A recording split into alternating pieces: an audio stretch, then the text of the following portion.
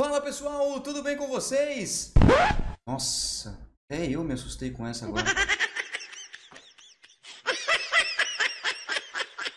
Sejam bem-vindos a mais um vídeo aqui no canal e nessa aula eu vou te explicar como que funciona o método Drop Set na prática. O drop set é um dos métodos que possui maior flexibilidade e maior aplicabilidade na realidade prática, indicados para indivíduos intermediários e indivíduos avançados. Segundo a literatura, é sugerível que o drop set seja feito em máquinas. Isso não significa que um indivíduo um pouco mais avançado, que já tem mais experiência, mais consciência corporal, não possa realizar em pesos livres ou em exercícios que tenham um grau de complexidade um pouquinho maior, sem problema nenhum. Basta que você se atente a isso na sua prescrição. Bom, esse método consiste em você executar um número X de repetições com ou sem falha, a literatura dá suporte para isso, que fica entre 6 a 20 repetições e após ao final dessa sequência de repetições, existe uma redução entre 20 a 40% do peso do exercício e segue-se sem intervalo, um mínimo suficiente para a redução do peso, uma nova sequência de repetições. Muito bem,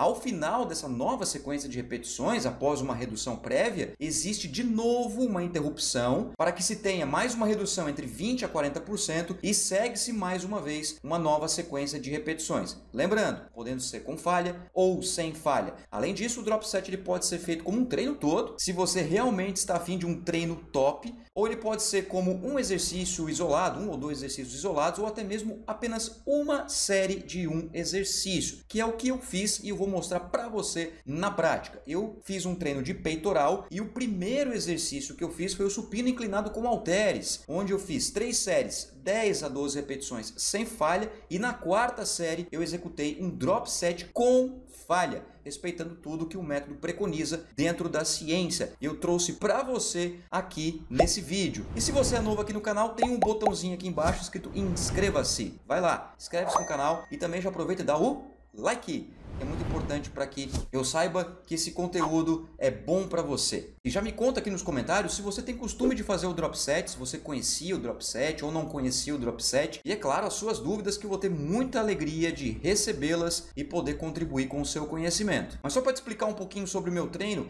eu executei um treino de peitoral, onde eu fiz um determinado número de séries, que é ao longo da minha semana de treinamento, e eu vou deixar para você aqui no card um vídeo que eu já produzi sobre volume de treinamento na musculação e também um outro card que eu fiz um curso aqui completinho sobre periodização na musculação, com quase 4 horas de conteúdo. E lá também eu abordo não só a questão do volume de treinamento, mas também todas as variáveis de manipulação do programa de treinamento de força. Mas vamos lá. Vamos ver como é que foi a minha execução do drop set no exercício supino inclinado com halteres? Até já então! Aqui você pode observar que tem um halter de 16 kg, onde tem uma anilha de 5, uma anilha de 1 e uma anilha de 2 kg, totalizando o halter em 16 kg. Eu vou menosprezar o peso da barrinha, portanto não vou considerar na execução do drop set, beleza?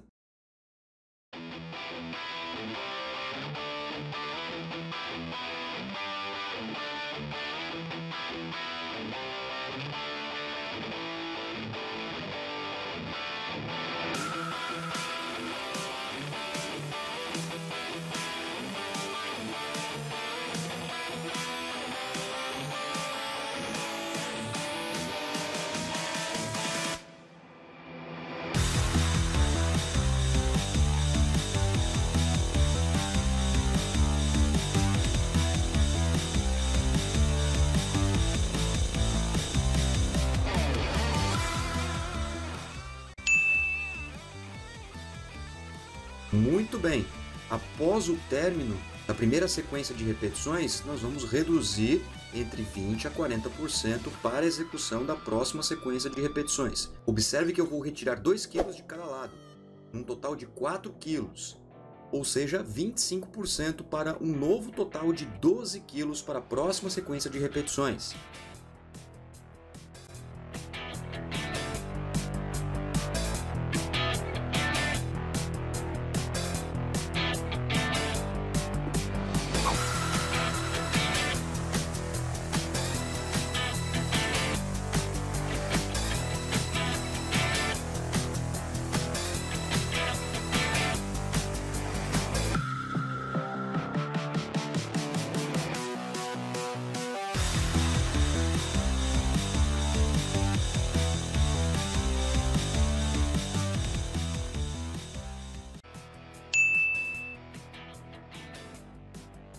Fechando mais uma sequência de repetições, agora haverá mais uma redução de peso, que nesse caso será de 20%, ou seja, eu vou retirar essa anilha de 1 kg em cada lado, para que a redução seja de 2 kg, indo de 12 para 10 kg, 20% para a nova sequência de repetições, respeitando o que o método preconiza na questão de redução da intensidade ao longo da sequência de repetições.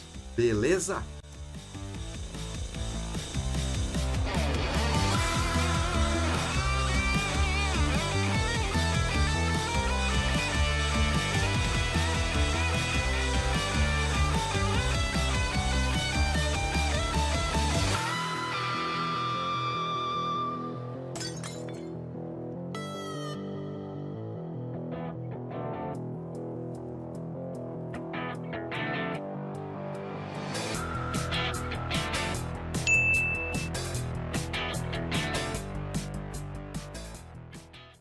E aí, meus queridos amigos, o que você achou do meu desempenho no Drop 7?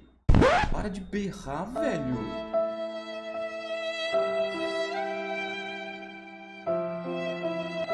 Método bem interessante que você pode utilizar com indivíduos intermediários e indivíduos avançados. Eu optei em fazer no primeiro exercício, mas você pode fazer em qualquer exercício, em qualquer momento do treinamento. Isso depende da periodização. Sem contar que você pode conjugar isso com outros métodos de treinamento, inclusive eu já escrevi um livro sobre isso, que se chama Métodos e Técnicas de Treinamento na Musculação. Se você tiver interesse em adquirir esse livro, entre em contato comigo que eu vou ter muita alegria em mandar esse livro para você. Ah, e se você gostou desse conteúdo, mas quer saber saber mais sobre métodos de treinamento, coloca aqui nos comentários. Quais métodos você quer saber? Quais sistemas de treinamento? E dê sugestões de live também, que eu tenho o maior prazer em receber essas informações de vocês. Muito obrigado pela sua atenção, um forte abraço e até o próximo vídeo.